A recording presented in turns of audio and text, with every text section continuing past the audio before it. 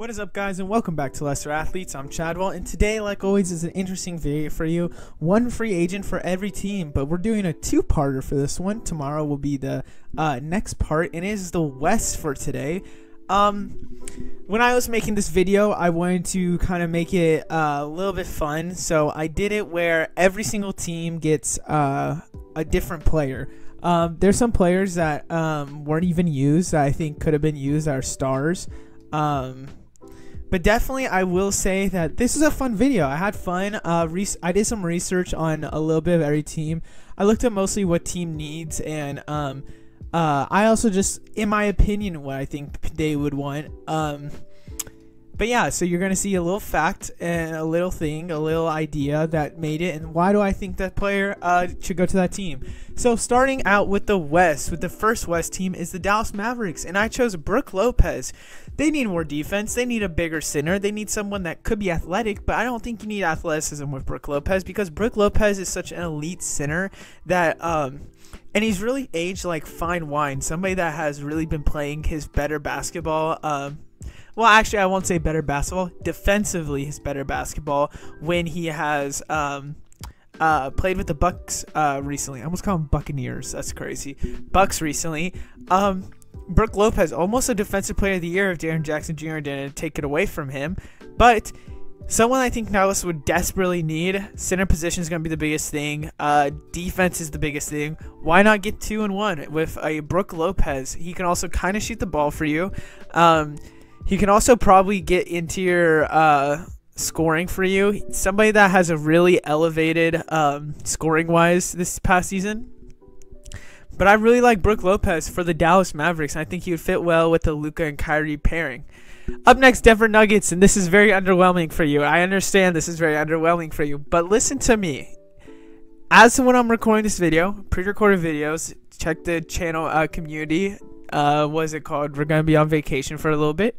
Um, you guys need more stretch bigs. It's also three and one to the series, so I'm guessing I'm calling it now. Denver Nuggets have won the uh finals, and if they didn't, prove me wrong, Heat. But I'm going with Dario Saric because they need stretch bigs. Dario Saric played with the Thunder when he uh getting traded from the Suns. He played pretty decent. He didn't play bad. He played rotational minutes I think the Nuggets would really like. Someone that uh, you could definitely put at a uh, forward spot.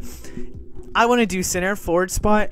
Um, could shoot the ball, can pass around, and I think could also drive when he needs to. I think it's a good rotational piece. You're the Denver Nuggets running back with the same team. You don't need some free agents. You don't need to make a new trade. That's what we've seen teams trying to do that, and it ruins the chemistry of the team. Don't do that. Don't do anything like that, and just try and get a new championship with the same team because you have six players undeniably that will, uh, I think, are untouchable for you. Up next is Golden State Warriors, and they really need someone that's a better shooter and uh, that could replace an Otto Porter Jr. potentially that didn't really play for them. So I went with Joe Ingles, somebody that I really like, and somebody that um crazy how he will always have that three point shot in his game, and he will always be that three point specialist no matter what. Um, remember him uh being injured, coming back to the Bucks, and still having that amazing three point shot is so fun to watch. Um, why not Golden State Warriors? I think it would fit right in. Somebody that you can easily uh, pass and shoot, catch and shoot player that would fit in with the Warriors we saw what he did with the Jazz, and he really elevated the Jazz. I'm burping, bruh. Elevated the Jazz when he was a catch and shoot player for the uh, Jazz. It was him, Bojan, uh, and even Jordan Clarkson was somebody that was uh, playmaking for them. I was trying to think of the six man uh, competition. I remember when it was like Jordan Clarkson and Bojan for six man of the year, or was it Joe Ingles and Jordan Clarkson? It was somebody like that. Anyways, Golden State Warriors, I think, fits in with Joe Ingles being that catch and shoot guy, and I think it would really work with the Golden State Warriors find that replacement for an Otto Porter Jr. Up next, Houston Rockets, and I was originally gonna put Dillon Brooks on here, but I like Cam Johnson better, and I think he fits better with your team. Cam Johnson is somebody that is going to probably get some money. I think he stays with the Brooklyn Nets. But in this scenario, no person can come back to their own team. Everyone has to go to a different team. So Cam Johnson's going to be the guy going to Houston Rockets. Um, point guard is probably the biggest concern for them. But I'm going to guess in the uh, let's say in this scenario, um, Amen Thompson or somehow in some way Scoot Henderson drops to the Rockets, they get their point guard for the future. So now you your biggest need is a wing, and I think defensively, it will be perfect for you. Three and D player is what is going to be needed. Um, even let's say even in the draft they uh, draft a wing, then they can go point guard and free agency. Fred Van VanVleet. Rumors have it Kyrie Irving is now on the board for them. I don't know about that one. That's uh, sounds like a smokescreen to me. Um, also, uh, we've heard um, uh, James Harden, of course, but Cam Johnson, I think, fits in perfectly with what uh, the Rockets would want. A great defensive, lengthy player that can shoot the ball defensively is very well. Fit in probably a four. Put Jabari Smith Jr. at small forward. I really like that, honestly, because I think Jabari Smith Jr. could be a great three in this league, especially with his shooting ability. Um, Sengun at center, of course, Jalen Green at the two, and then Amen Thompson or Scoot Henderson at the one. I think that's a really good team, and that's a team that is young, don't get me wrong, and probably to be competing the first year, but would definitely be competing at maybe a, a year or two ahead. Up next, we have the Los Angeles Clippers, and their biggest need, in my opinion, is going to be an upgrade at guard position or some star power.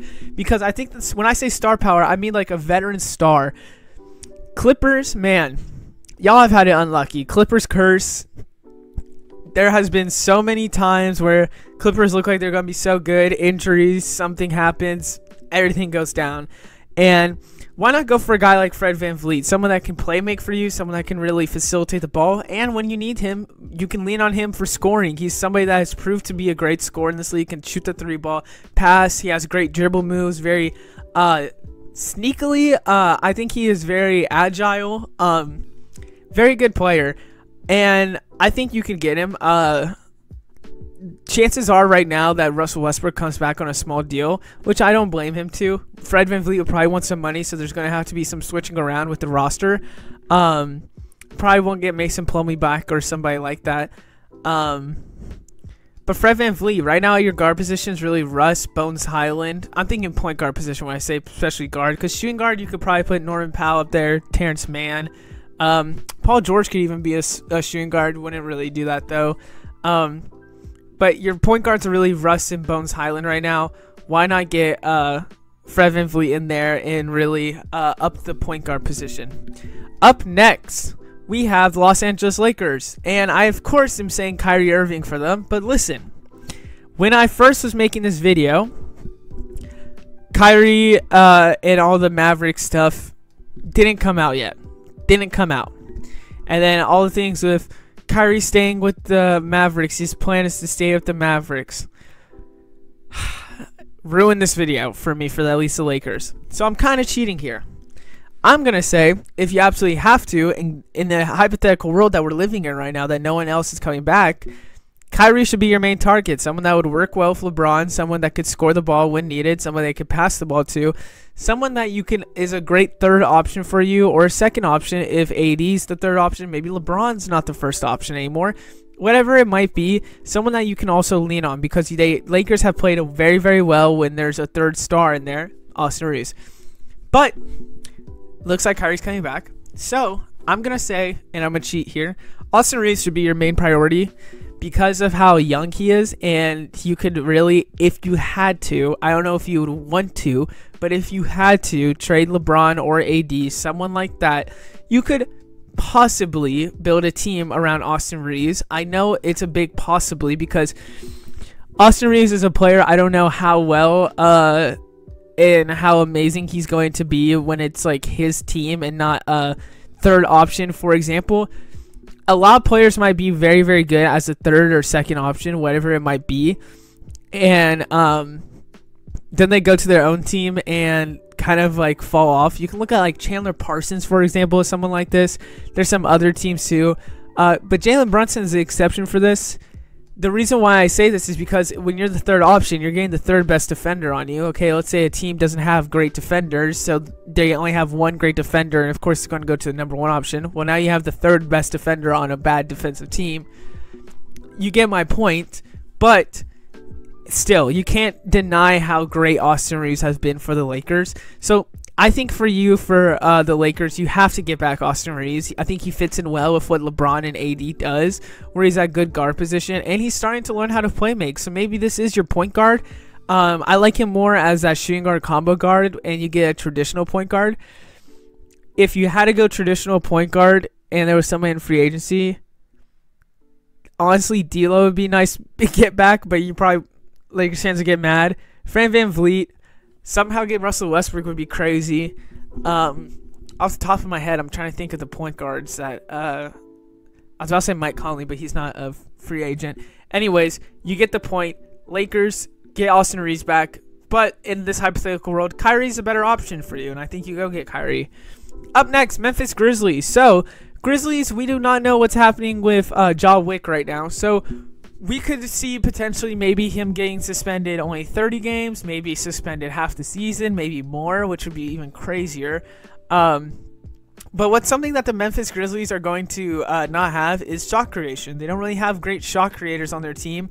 When you really think about their shot creation, it's really from uh, Desmond Bane and Ja. Well, one of them is gone. Dillon Brooks kind of shot create sometimes, but he's not coming back. So get you a Caris LeVert, someone that is a great scorer in this league, someone that can really score the ball. There's not really much uh, playmaking or rebounding, but he can score the ball for you, a really good guard for you. Get Caris LeVert, someone that I think could definitely uh, ease off the pain of Ja leaving a lot, where they could maybe rely on Tyus Jones playmaking that Ja had, and maybe the scoring is Caris LeVert, someone that they could rely on, or Desmond Bane, of course, you know. But I think it wouldn't be a bad option to get Caris LeVert in there to really score the ball for you. Up next, Minnesota Timberwolves. And when I was looking at the Timberwolves, of course, wing was a, a big thing, but I saw that um, a two way player was something that they really would want. So they don't really have that much athleticism on the team. They need the forward position, like I say, you can see on the left. Um, but um, wing position, um, athleticism, two way player, that was screaming Rui Hachimura to me. And that's somebody that started to show off in the playoffs that he could really play. Um, it'll be very in- it'll be very interesting to see if he continues that uh, stretch of how good he was in the playoffs to become uh, and to play for the um, uh, whatever team it might be, or come back to the Lakers. But the Timberwolves, I think you would really like a Rui Hachimura, uh, somebody that you could either play or keep on the bench. Um, and I think he could give valuable minutes for you. I think he could be very explosive for you, something that uh, Ant is like that really works well with your team. He could explode. He's very quick first, first step, um, and he's learned how to shoot a shot a little better and start scoring a little better. Um, uh, maybe not uh, um, confidently. Uh, like he might not be as confident as he was when he was going against the Nuggets and saying the reason why I'm seven for seven is because they don't got defense in the paint. Talking about Jokic, shouldn't have said that one. Um, so it'll be very interesting to see uh, where the Timberwolves uh, go and how are they going to upgrade when it comes to um, free agency. Up next, New Orleans Pelicans. New Orleans Pelicans was in the middle of the pack when it came to three point shots. They were dead middle and they didn't really have any three point shooting. Um, so why not get some shooters around your team? Someone that can definitely be catch and shoot players for you that you can pass and quickly shoot for. Um, Seth Curry screams out uh, one of the best off uh, three point shooters in this free agency class. Seth Curry, we already know, is a Curry first off, so there's shooting in your blood from Dell. Um, pause. But I think that um, Seth Curry could be a really good player for the Pelicans. Somebody that uh, CJ McCollum has been running point CJ for a little bit, and it's been working sometimes. Get uh get Seth Curry at shooting guard, or maybe you get Herb Jones as shooting guard, and there's really no place for Seth Curry in the starting lineup. Um, we'll have to see. Um, put Seth Curry then on the bench, someone that you can rely on when you absolutely need to, maybe crunch time to shoot a three, and you can switch some players out. Um, but he'll definitely be someone that I think the Pelicans should look at at potentially uh, throwing him some good money for uh, to increase their three point shooting. Up next, Oklahoma State Thunder, and I want them to get more traditional center Chet. And another player I was really looking at was Naz Reid for them, but the thing about Naz Reid is that he's more offensive and not really that defensive player that I think they'll need. And Poeltl's kind of the middle. They have some money, they have some cap space. Why not? You can splurge a little bit if you're trying to compete and try and get a uh, Poeltl uh, to the Oklahoma State Thunder.